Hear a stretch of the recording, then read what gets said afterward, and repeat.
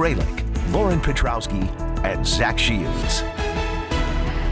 Hi, welcome back, everyone. 931. Hey there, Zach. It's it's strange not having you over here on the couch. I know, we miss you. Yeah. We miss you. Do you can miss you hear us? Me? Yeah, can you hear us? Yes, I can hear you. Okay. miss you guys. What are we doing? Reenacting the final scene in Armageddon or something? I uh, know. Zach! Hello. He's. He's, yeah, he's I want right. to thank uh, Chelsea for filling in the last uh, couple of days. Starting to feel old around here. My back gave in, and I appreciate that. Uh, so that's why I'm sitting over here. It's not because I don't like my co-anchors anymore. I think we're good. Just, yeah, I can't stand here. up Do we anymore. smell okay? Uh, so, happy to report. No, I don't have a cold front in the picture, but I do see lots of sunshine in our future uh, today with a decent warm up. It's 80 degrees right now. Those 80s will turn into low 90s. Little bit above average with heat of season, triple digit ter- territory.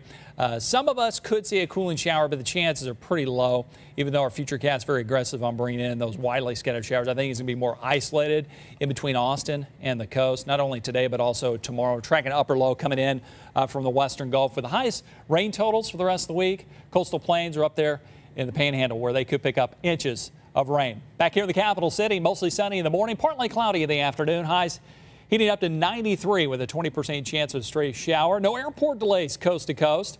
Uh, that could change in the heartland. Uh, there's a decent front heading that way that's going to fire off some severe storms from the Texas panhandle into the Midwest. That same low will try to force that front a little bit closer to us. That's why I've increased the rain chances just a bit to 40% late Saturday, and then we'll drop them just like that, 30%. And then no more rain, it looks like, as we go into early next week. No strong cold fronts heading this way. I don't see our first fall front just yet. Uh, so we'll keep our highs in the 90s, lows in the 70s this weekend and beyond.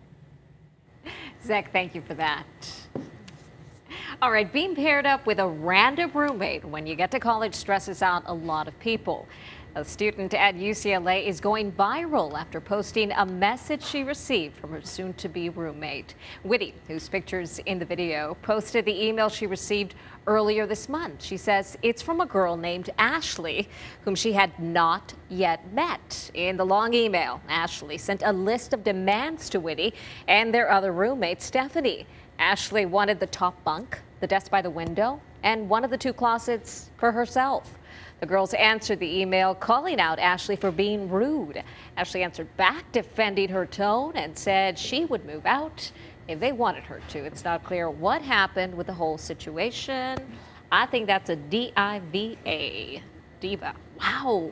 Did y'all have random roommates? No, Yeah, I had d- a buddy I from did. College, I high did. school. Yeah, and I lived with three other girls, kind of like a two bedroom situation. But um, it was, yeah, it was pretty Really? scary. No, I mean, it worked out great. Right. But, you know, not knowing who you're going to be paired up with, if you're going to be Well, with someone like that. yeah, that. that Luckily, I first didn't day- have that situation. That at first day you all, move into your dorm room, but my uh, my roommate and I uh, roomed together even after Yeah, we did got too. out. We did, yeah, we That's a went into an apartment together, and I just went to her wedding a few months ago. So Yeah. Great this was- relationship. I think It it can was work out. Ashley's master plan. She wanted to be by herself. She wants her own room. I don't know if she's going to get her own room. Mastermind. Well, she's getting those two people away. Very They're- Machiavellian. They're running and hiding. Yeah.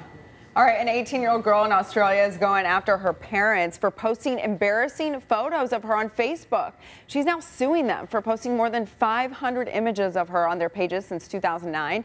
The teen says that they knew no shame and no limit and didn't care whether it was a picture of me sitting on the toilet or lying naked in my cot. The father claims that since he took the photos, he has the right to publish them. They will go to court in November. This is a really interesting debate, Yeah. and I'm sure a lot of people will be looking to see what is decided from all of this.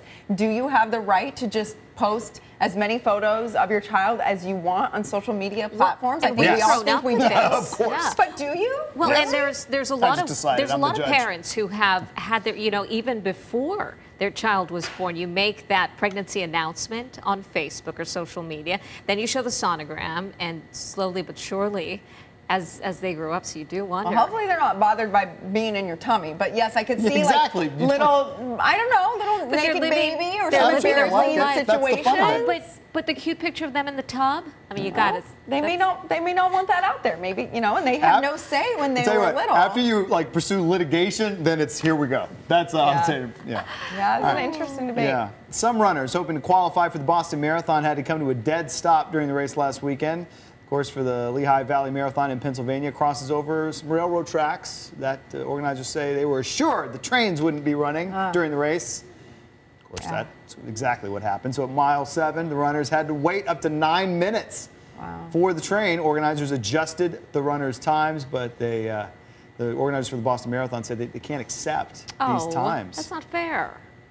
Yeah. I want to see somebody like That running, is running in play. unfortunate. Seven minutes. I mean, you're just getting into your stride in Man, seven I wouldn't have thought it was unfortunate. I'd been like, Okay, good break, good break. get on my knees. Should we You finish think. this? Yeah, it's probably one of the many reasons why I'm never running in the Boston No, Marathon. no. Still ahead, we've got Whole Foods in studio with our Thursday's meal. Get some apples going. Stay with us.